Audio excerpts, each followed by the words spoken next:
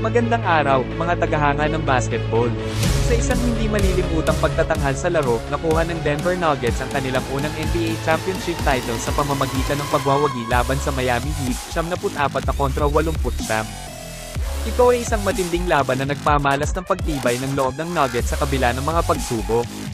Sumama sa amin habang ating suriin ang mga makasaysayang highlights at mahalagang aral mula sa tagumpay na ito na magiging bahagi ng NBA history. Bago tayo magpatuloy isang malalaking shoutout kay Efrem Baal. Ang inyong mga comments, likes, at shares ay nagbibigay sa amin ng inspirasyon at lakas upang magpatuloy sa paglikha ng content. Maraming salamat sa inyong walang sawang suporta at pagiging bahagi ng ating channel. Ang dominasyon ni Nikola Jokic. Isang lalaki ang tumindig sa kabila ng naghihikahos na opensa ng Nuggets sa Game 5 si Nikola Jokic.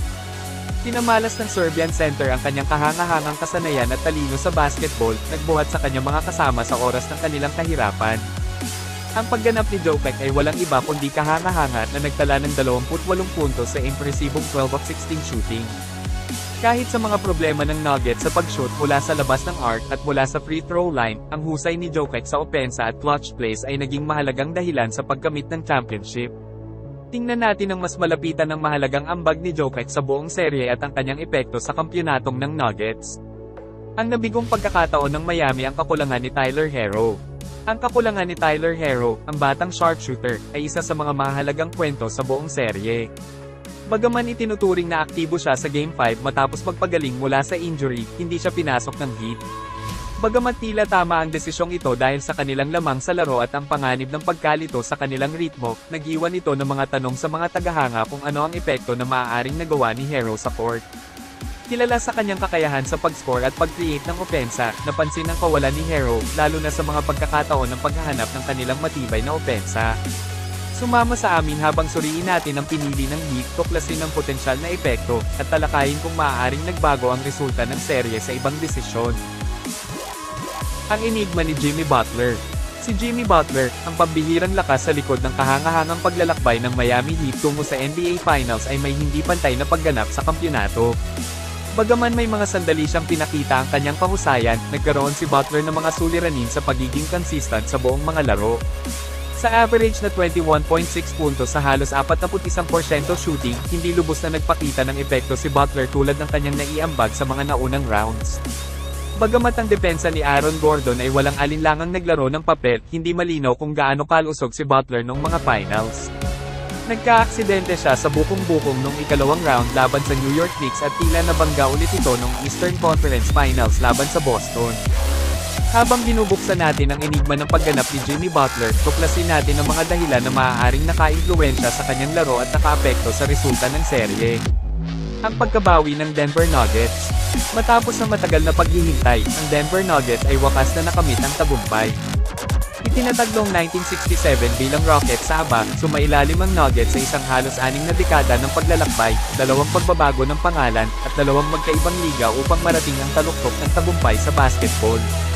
Ang tagumpay na ito ng kampyonato ay nagtatakda ng isang makasaysayang tagumpay para sa franchise at ang mga manlalaro, mga coach, at mga tagahanga ay maaaring magdiwang sa kanilang tagumpay. Sumama sa amin habang ating talakayin ang kahalagahan ng tagumpay na ito at ang epekto nito sa pamana ng Nuggets. Ang makasaysayang NBA Championship victory ng Denver Nuggets ay magiging nakaukit magpakailanman sa mga alaala ng mga tagahanga, manlalaro, at mga tagahanga ng basketball sa buong mundo. Ang dominasyon ni Nikola Jokic, ang nawalang pagkakataon ni Tyler Hero ng Miami, at ang enigmatic na pagganap ni Jimmy Butler ay lahat nagkontributo sa kwento ng nakakaaliw na seryeng ito. Nagpapabot kami ng aming taos-pusong pagbati sa Denver Nuggets sa kanilang kahangahangang tagumpay. Isang pagsisikap ng buong koponan at mga di kilalang bayani. Bagamat tama na kilalanin si Nikola Jokic sa kanyang napakagaling na performance bilang MVP, mahalaga ring bigyang pansin ang ambag ng buong koponan ng Nuggets. Sa kabila ng mga problema sa opensa sa Game 5, naglaro ng mahalagang papel ang mga manlalaro tulad ni na Jamal Murray, Michael Porter Jr., at Aaron Gordon sa buong playoffs, naglakas loob sa mga panahon ng pangangailangan at nagbigay ng mahalagang suporta kay Jokic. Pinakita ng Nuggets ang lakas ng pagkakaisa at paniniwala sa kanilang kolektibong kakayahan, patunay na ang pagkampiyon ay tunay na resulta ng pagsisikap ng buong koponan. Bukod pa rito, huwag natin kalimutan ang epekto ng mga di kilalang bayani. Ang matatag na laro at mahusay na paggawa ng mga tira ni Monte Morris, ang pagbabalik mula sa karamdaman ni Will Barton upang magbigay ng enerhiya mula sa bench, at ang galing sa depensa ni Facundo Campazzo at PJ Dozier ay hindi dapat ipagwalang bahala. Ito ay isang tunay na pagpapakitang tao ng kakayahan ng koponan na nagdala sa Nuggets tungo sa kanilang mahalagang tagumpay sa kampyonato. Ang tiyaga ng Miami at ang pamana ng No.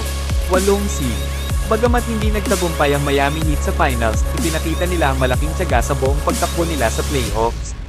Bilang walong seed sa kasaysayan ng NBA na umabot sa finals, nilabanan nila ang mga inaasahan at nagpakita ng kanilang tibay ng loob, pinangunahan ng inspirasyonal na pamumuno ni Jimmy Butler. Sa kabila ng resulta, may pagmamalaki ng Heat ang kanilang sarili dahil alam nilang kanilang pinaglaban ng Nuggets hanggang sa huling sandali ng laro. Ang pamana ng walong seed na umaabot sa malalim na bahagi ng playoff ay mananatiling alaala. Ang kahangahangang paglalakbay ng Heat ay patunay sa kompetisyon at kawalang predictability ng NBA playoffs. Ang kanilang tagumpay ay tiyak na magbibigay inspirasyon sa mga darating pang mga koponan na hindi inaasahang susulong at magbibigay ng pag-asa sa mga tagahanga na anuman ang maaaring mangyari sa paghahangad ng NBA Championship. Ang unang NBA Championship win ng Denver Nuggets ay mananatiling alaala sa mga tagahanga, manlalaro, at mga entusiasta ng basketball sa buong mundo.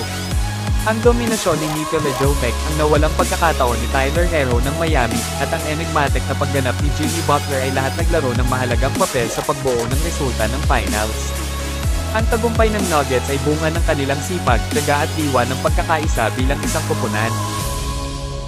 Sa ating pamamaalam sa NBA season ng 2023, nagpapaabot kami ng taos-pusong pagbati sa Denver Nuggets sa kanilang makasaysayang tagumpay.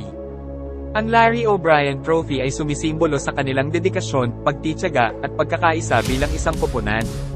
Salamat sa inyong pagiging kasama sa napakagandang paglalakbay na ito, at umaasa kami na patuloy ninyong susuportahan ang aming mga balita at mga pagbabahagi sa mundo ng NBA.